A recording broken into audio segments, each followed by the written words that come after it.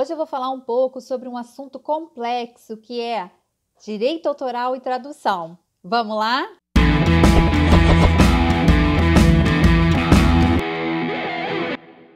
Oi, gente!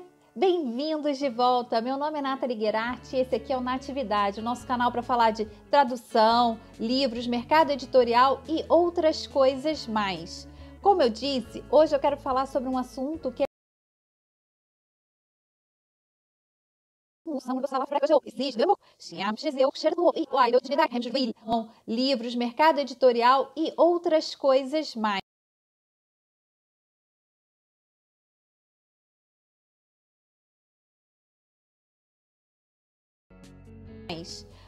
Como eu disse, hoje eu quero falar sobre um assunto que é bem complexo e que gera muitas dúvidas, que é o direito autoral da tradução. Antes de começar, eu quero deixar claro que eu não sou advogada, eu não fiz direito, eu sou tradutora e eu me interesso por esse assunto por motivos óbvios. E eu falo também sobre a prática de mercado, do, do tipo de contrato que a gente assina hoje em dia. Então, quem nunca trabalhou com tradução editorial talvez não saiba, mas quando a gente recebe um livro para traduzir, a gente tem que assinar um contrato de cessão de direitos autorais para a editora. Aqui no Brasil, a gente tem a Lei de Direitos Autorais, que é a Lei 9610 de 1998. Ela é específica, ela trata especificamente de direitos autorais no geral e ela aborda a tradução em vários pontos. Eu vou deixar um link aqui embaixo para vocês, para quem se interessar em ler a lei na íntegra. Bom, cada editora tem o seu modelo de contrato de cessão de direitos autorais, mas eles basicamente dizem a mesma coisa. Eles dizem que a gente está cedendo os direitos patrimoniais da nossa tradução, ou seja, o direito da editora comercializar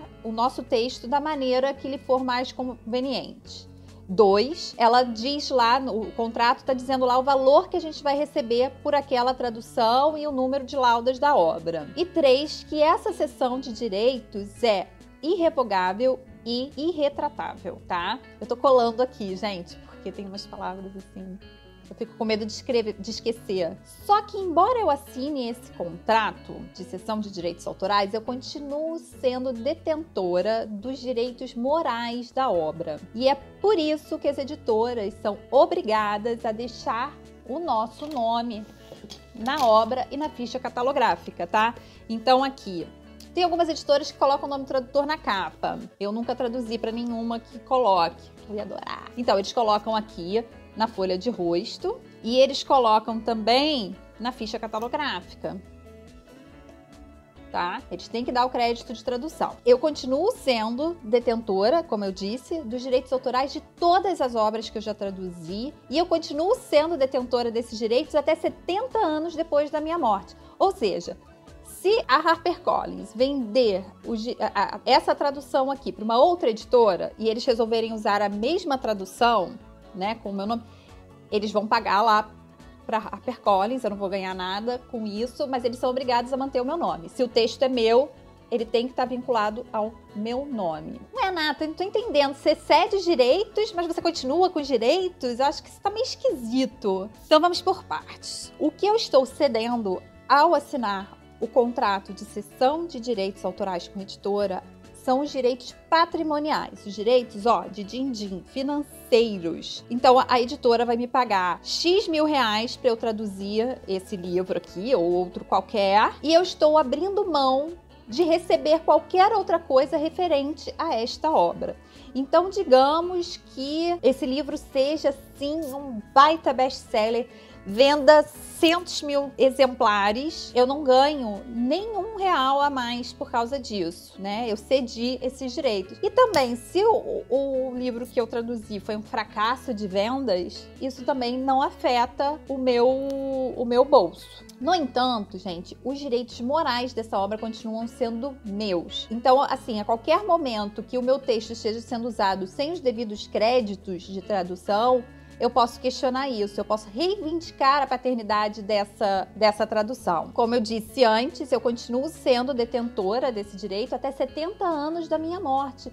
como se eu fosse autora da obra. Ah, Nathalie, então você é coautora da obra, ou seja, os tradutores são coautores da obra? Então, algumas pessoas dizem que sim. Mas lendo melhor lá a lei, eu percebi que nós, na verdade, somos autores de uma obra derivada. Como é que é? Obra derivada? O que, que é isso? Então, a gente tem um autor, ele é o criador da obra. Ele que inventou os personagens, a trama, todas as reviravoltas que acontecem na história. Isso é uma criação dele.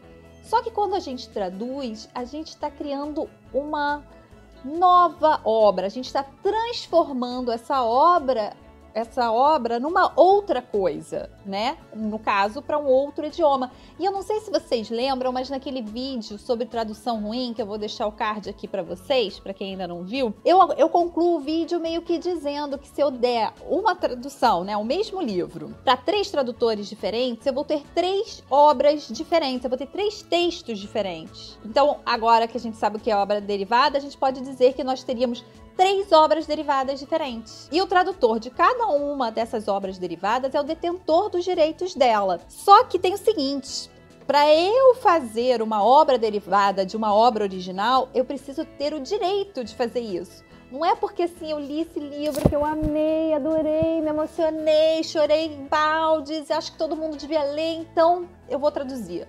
Eu não posso fazer isso porque eu vou estar infringindo a lei de direitos autorais. Eu vou estar prejudicando o detentor de direitos da obra original. Em geral, quem negocia os direitos de tradução das obras são as editoras da obra original.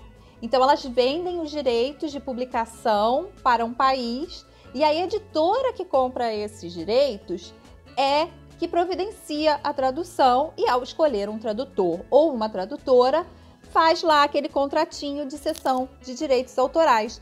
Aliás, se vocês quiserem saber um pouco mais sobre como uma obra é contratada e tudo, deixem nos comentários aqui que eu falo um pouco mais sobre isso com vocês. É bem interessante. Mas voltando. Então, gente, só para encerrar, eu quero dizer o seguinte: a gente cede os direitos patrimoniais, ou seja, a gente abre mão de receber qualquer dinheiro a mais se a obra virar um best-seller ou qualquer coisa assim mas os direitos morais da obra continuam sendo nossos e o nosso nome sempre tem que estar vinculado à obra que a gente traduziu, ao nosso texto. E aliás, seria um sonho se todo mundo que fale sobre um livro, faça uma resenha, faça um, um vídeo pro, aqui para o YouTube sobre determinada obra, que ela desse os créditos do tradutor. Isso seria um sonho, seria um reconhecimento do nosso trabalho, porque muitas obras é, só chegam aos leitores brasileiros por causa dos tradutores, porque nem todo mundo fala inglês, nem todo mundo fala francês, nem todo mundo fala italiano. Então, eu só posso ler autores italianos se for com uma tradução, a mesma coisa com os franceses.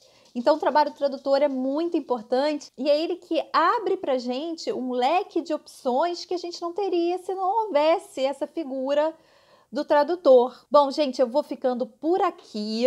Beijo grande, até o próximo vídeo e tchau, tchau!